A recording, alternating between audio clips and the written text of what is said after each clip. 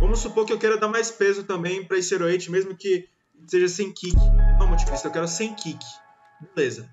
A forma que você tem para fazer isso, cara, é alinhando mixagem, equalização e algumas coisas a mais. E eu vou mostrar isso aqui para você. A primeira coisa que você vai fazer é colocar ele aqui no seu, no seu 08 na, na mesa de som.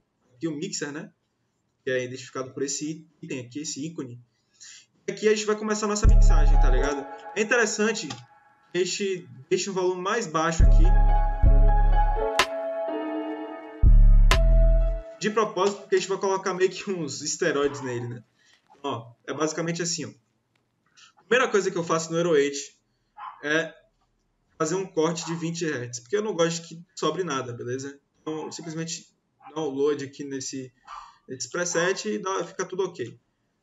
O que, é que eu vou fazer agora, cara? Eu vou vir aqui, outro, outro equalizador e vou dar uma sondagem para ver qual é frequência base dele. Ó. É, o que é a frequência base? É o lugar onde ele está mais aparecendo aqui no espectro do, do equalizador. Tá ligado? A gente vai subir um pouquinho aqui, ó.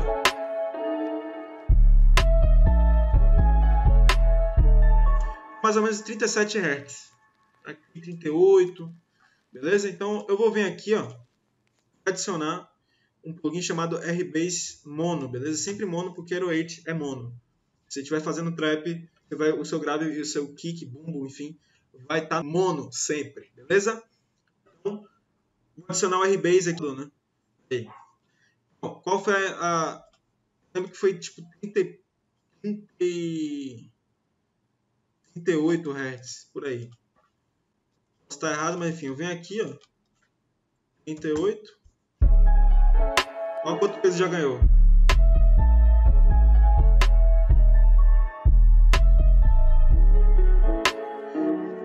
Comparação sem com. Se você estiver ouvindo isso de fone de ouvido, você vai notar muita diferença nos subgraves. Isso na festa, meu amigo, faz muita diferença.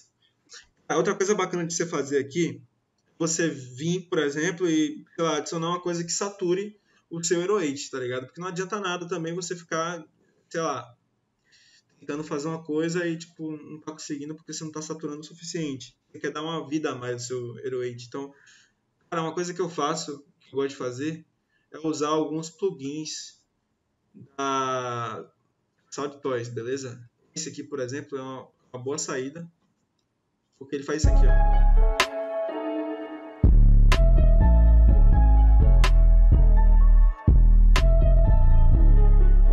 Fica da hora também. Eu estou usando aqui um exemplo sem kick.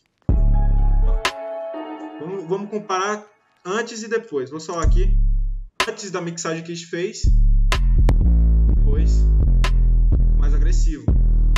Ah, mas eu não quero só, eu não quero essa agressividade toda, Monte Cristo. Com dosa.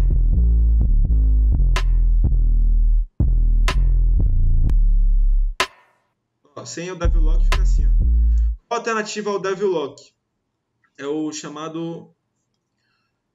Me esqueci agora, cara. É o Fruit Fast Dist.